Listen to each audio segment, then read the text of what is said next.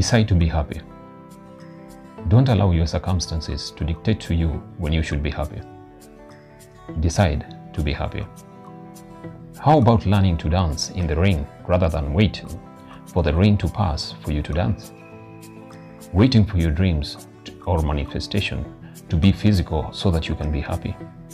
You will end wasting a beautiful moment or even a whole day you only have control of no moment. You have to have your mind made up that no matter how life knocks you down, you will still rise up again and again and again.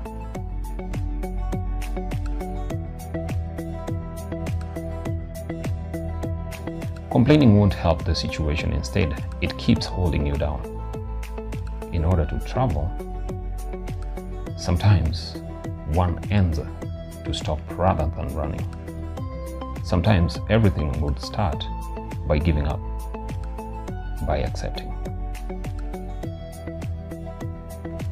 Never stop trying, never stop believing, never give up. Your day is sooner than you think. Time to enjoy yourself in the now. You can decide to be happy as soon as you open your eyes in the morning. This is the moment you choose to seize the day, or you can allow that day to seize you. Focus on something that you are grateful for.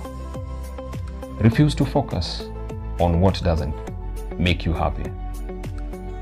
Bear in mind that nobody will make you happy. You owe yourself that much. Your spouse, your child, your friend, your boss won't make you happy. You are responsible for your own happiness. Be responsible for things that makes you joyful in pursuit of your own happiness. Let your happiness be from inside of your heart and appreciation of life and not from your stuff. If you have 1 million, you want 1 billion. If you have a big house, you want a bigger house.